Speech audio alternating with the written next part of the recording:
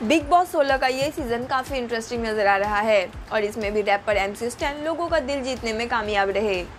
और अब big boss 10 के विनर मानवीर गुजर ने एम सी स्टैन को खुलकर सपोर्ट किया है।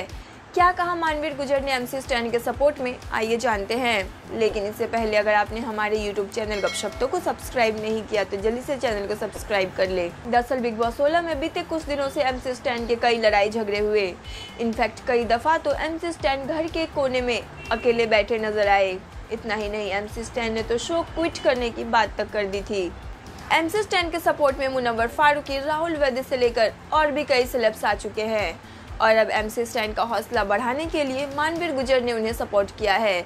मानवीर गुजर ने अपने सोशल मीडिया पे ट्वीट शेयर करते हुए लिखा है, क्या भाई एम सी स्टैंड क्या कर रहा है ब्रो खुल के आने दो ना ब्रो तू तबाही है, बोले तो मचा डाल। तो दोस्तों, आप क्या कहना चाहेंगे इन सब बातों पे और आपको एम सी स्टैंड कितने पसंद है? कमेंट कर हमें बताएँ और भी खबरों के लिए सब्सक्राइब करें हमारा यूट्यूब चैनल गपशप तो।